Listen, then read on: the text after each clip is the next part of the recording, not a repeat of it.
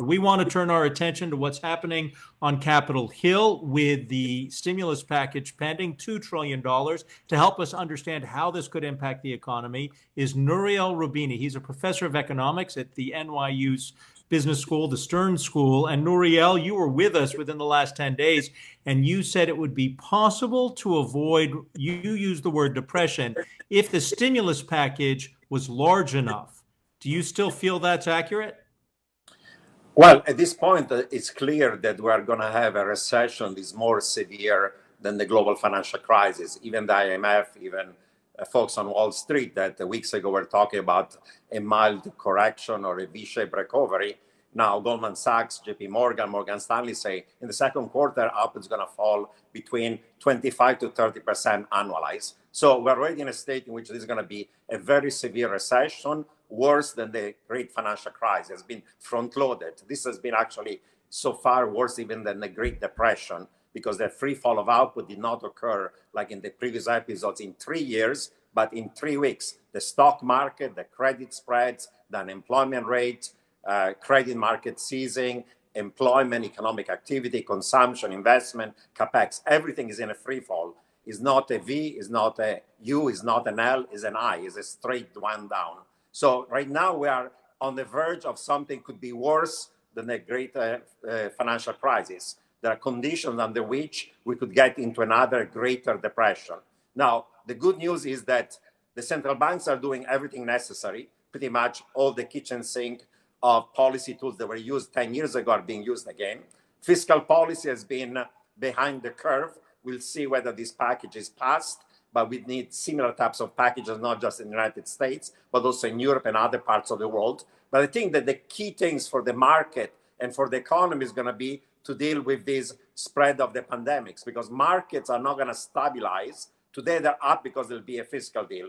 But if the news are going to be, as they've been for the last week, that the rate of spread of contagion is 30% per day, that means that every three days the number doubles. In a month from now, we'll have half a million cases in the United States. And therefore, we're not going to be able to reopen economic activity. Economic activity is already worsening more than expected. Therefore, the economy can still tank. The market can go lower after the good news of today. And if that happens and the contagion is not stopped, then we'll have the condition for having a depression, not a recession. Nouriel, it's Julia LaRoche here. So, what I'm hearing from you is that the best case scenario is that short lived recession that you're referring to that we would get to growth in the fourth quarter. But as you're referencing that ref- that depends on that's contingent upon the kitchen sink uh, federal monetary federal reserve monetary policy getting the virus under control getting the right fiscal stimulus. So i'm wondering um, because even that scenario doesn't sound so great. The the depression scenario, scenario that you lay out sounds really dire. Are we past the point of uh, no return at, at this point we're not at, uh, past the point of no return. There'll be a great recession, more severe than the global financial crisis. That's consensus. You ask anybody now on Wall Street, they say this is going to be worse than 10 years ago. That's agreed. Was not a month ago, but now we're there. The question is, are we going to have a three-quarter severe recession worse than 10 years ago? And then by the fourth quarter, we have a recovery, or it's going to get worse? I think the condition and the things get worse are the following one. First of all, if we don't do a full lockdown of the economy for a month or two, the way China did and the way Italy is doing right now, this thing is going to explode. So this idea of re- reopening everything in a week after two weeks doesn't make any sense. Even in the UK, Boris Johnson decided we're going to shut down everything, lockdown fully and compulsory. We're not doing it, and that's dangerous. Even if we were to do that, by next winter, we know that this virus is going to mutate and we're not going to have a vaccine until another 18 months. And unless we find miracle antivirals or therapeutics going to work, every study scientifically suggests there's going to be a return of this infection under a different form, mutated. So by the time we're supposed to recover in Q4, it'll be winter and we'll have another round of this thing, maybe less severe than this time around, but again. Uh, secondly, by that point, the stimulus is going to run out of steam.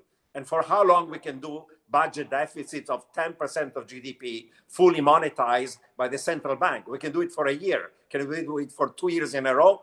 At some point, given the supply shocks that imply there'll be less production, there'll be bottlenecks. If you monetize fiscal deficit, you're going to have stag deflation, meaning recession and inflation at the same time, stagflation. That's a risk we're facing right now. And on top of everything else, there is a bunch of geopolitical risk. US and China, uh, there is a collision course. There are a bunch of revisionist powers like China, Russia, uh, North Korea, and Iran that are going to be interfering in our election. We'll see what's going to happen with election. There is a risk of rigged election and confusion and political chaos. And I would not even rule out that Iran is going to strike the United States by the middle of the year. They'll start a war in the Middle East because they need to have regime change in the US. If Trump stays in power, the regime is dead. So they're going to escalate conflict in the Middle East. So we have the combination of having a pandemic that might not be contained, running out of policy bullets, and having rising geopolitical risk that could lead to what I've called the greater depression rather than the greater recession. That's the risk we're facing right now. The greater recession was already baked in in the numbers and its consensus. The question is whether there are downside risks. I see downside risk compared to the baseline of a greater recession.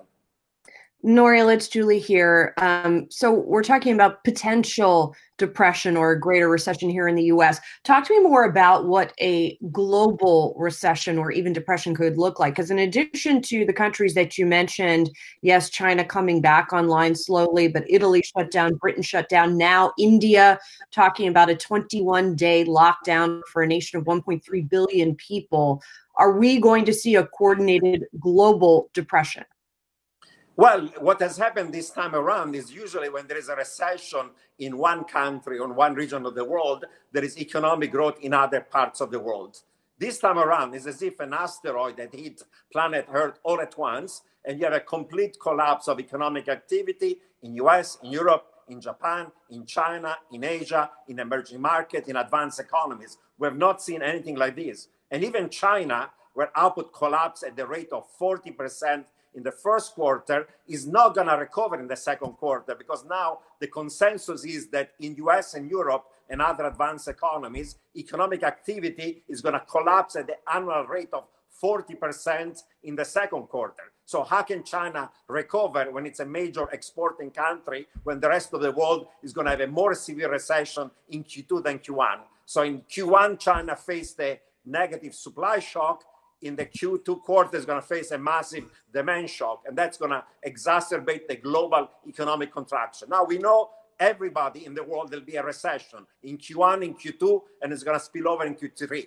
The question is whether by Q4 you have a recovery or you end up into a depression.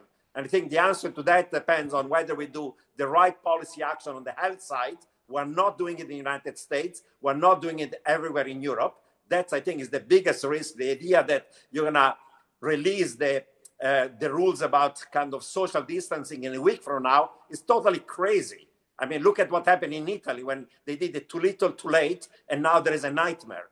US in a week from now or two weeks from now is going to be worse than Italy at this rate of increase of the spread of the contagion. So if we don't do the right health response because we want to jumpstart economic activity too soon, it's going to be a nightmare. And by next winter, it's going to be another round of this virus mutated and we're going to run out of policy bullets because we cannot run 10% of GDP this year, next year, another year, let alone other geopolitical risks that are looming over the horizon. That's why I worry okay. about the greater depression, not the greater recession. The greater recession is baked in for the world.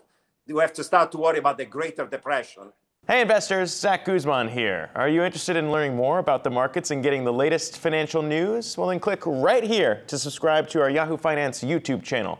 Get the latest up to the minute market analysis, big interviews in the world of finance, and information on how to manage your money every day wherever you are.